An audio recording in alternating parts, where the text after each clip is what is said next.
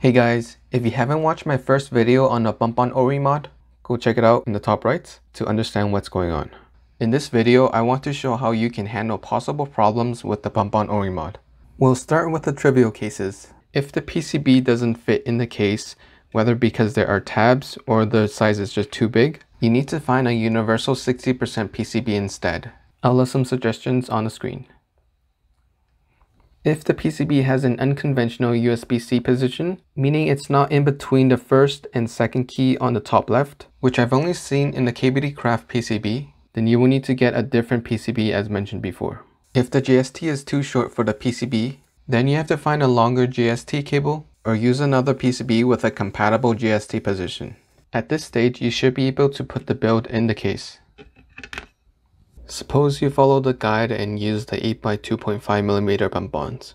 If the O-ring doesn't sit on the bump-ons, causing the PCB to rest on the bottom case, then the case is too wide to friction fit. This is where you can usually get creative with the bump-ons, but this is easier said than done. The most reliable method I found is to use tall flat bump-ons at the non-cutout spots. Generally, you want to find bump-ons that lift the PCB 4 to 6 millimeters above the bottom and protrudes 3 to 4 millimeters from the wall.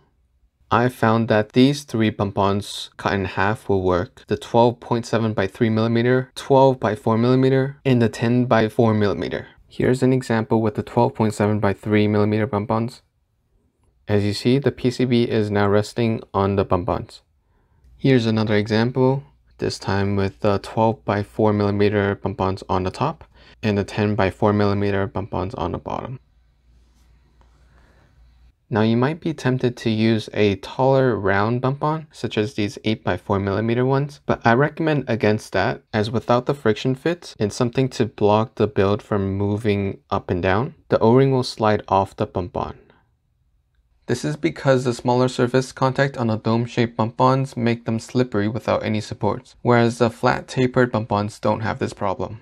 A common problem is the build being too loose inside the case. Then you need to add alignment bump-ons around the case that prevents any movement, just like alignment pins. The goal is to center it on the USB-C port and the top case. As for what bump-ons to use, there aren't any rules. The only thing that matters is the height. After some testing, here's what I came up with. I have two side bump-ons and two front bump-ons. Ideally, the O-ring should contact alignment bump-ons, but not be compressed by them. You can tinker a lot with how many to put and where to put them for the best results. I'll just emphasize that less is more. Let's check that we met our goals. It's entered on a USB-C port in the top case. If the build sits too low, or there's keycap interference with the fasteners, then you can simply stack some bump-ons under the mounting bump-on. Again, use any bump-ons you want to get the desired height. Suppose the fasteners don't do their job of fastening.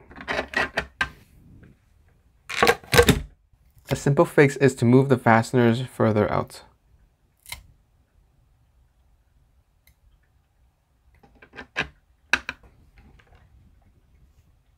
So I've already mentioned this tip in the first video, but I want to highlight it again as it's key to the longevity of this mod. You can see that this mounting bump on is eventually gonna collapse. I've tried replacing it, but it keeps collapsing.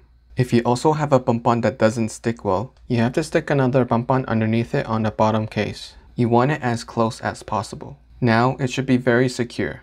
On a related note, if the bump on feet are sliding on a smooth acrylic, you can add a bump on in the direction that it's sliding. For example, mine were sliding up, so I applied another bump on right above it.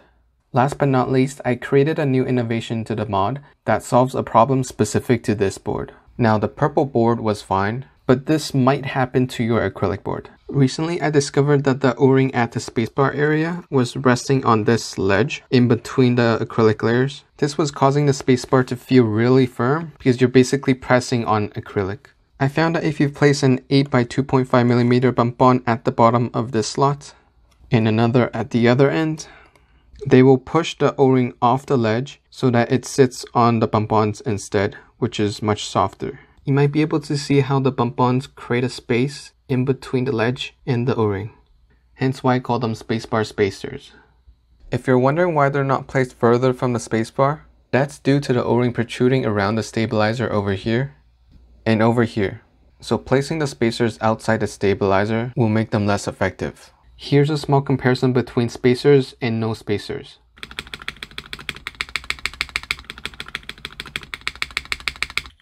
Alright, this covers pretty much all the problems I faced and the techniques I utilize when bump on O-ring modding my 5 keyboards. I hope these tips and tricks will make your modding smoother. To wrap things up, I have a few final remarks. I haven't tried modding non-60% so I can't speak much for problems associated with other layouts. Just remember, when in doubt, bump on it out. Also, keep in mind that every PCB is a bit different. Whether it's the hot swap sockets, the O-ring cutouts, or the JST connector, you might need to tweak the mod accordingly if you plan to swap builds around. Lastly, it's nice to keep bump-ons of various sizes on hand. You never know when you need replacements and want to try new configurations. Good luck with the bump-on O-ring mod, and most importantly, have fun.